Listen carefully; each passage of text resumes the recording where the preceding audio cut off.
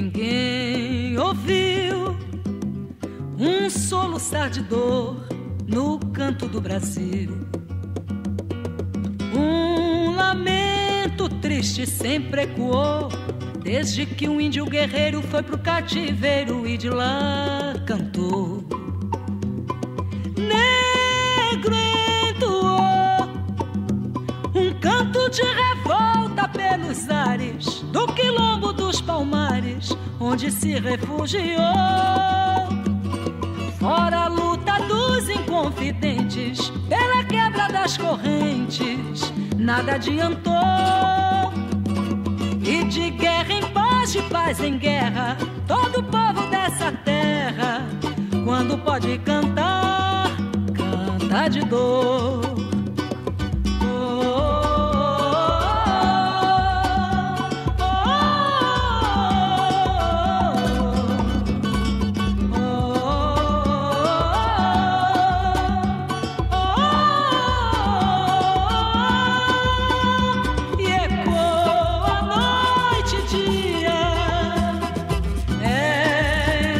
vencedor.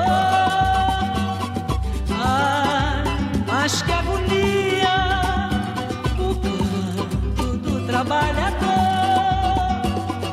Esse canto que devia ser um canto de alegria, sou apenas como solução.